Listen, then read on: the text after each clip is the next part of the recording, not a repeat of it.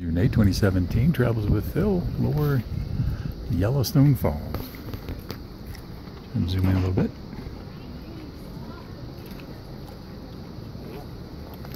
Three hundred and eight feet high, I believe.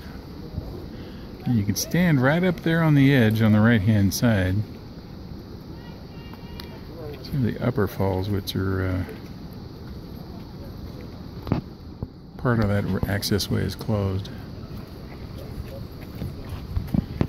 Now the rock you see along the walls here has got the yellowish tint to it. It's, it's rhyolite. Some people say it might even have come from uh, one of the previous times that Mount St. Helens blew up. But that's where it gets its name, the Yellowstone River. And this is near Artist Point, but up on the uh, trailhead.